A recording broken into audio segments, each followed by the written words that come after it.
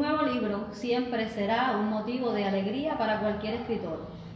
Si este libro además viene avalado por un premio literario como, como lo es el Premio La Edad de Oro, uno de los más prestigiosos que se convocan a nivel nacional en Cuba y publicado por la editorial Gente Nueva, especializada en la literatura escrita para niños, adolescentes y jóvenes, eh, la alegría es indiscutiblemente mayor. Un mensaje sin leer es un libro de cuentos que trata temas relacionados con las nuevas tecnologías. Internet crece y se expande a un ritmo vertiginoso y con él todo lo que, lo que viene eh, aparejado a, este tema y los niños no han quedado ajenos a este fenómeno.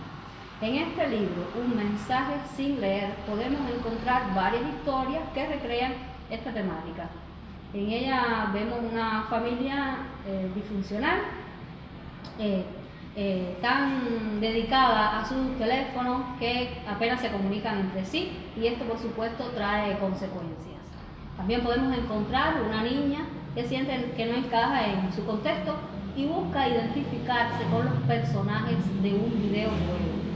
El ciberacoso a través de las redes, el abuso sexual hacia las niñas, eh, la falsa creencia de la belleza mm, estimulada por la aceptación en las redes sociales son algunas de las temáticas que podemos encontrar en este libro Un mensaje sin leer, una propuesta que estoy segura les gustará a todos los niños.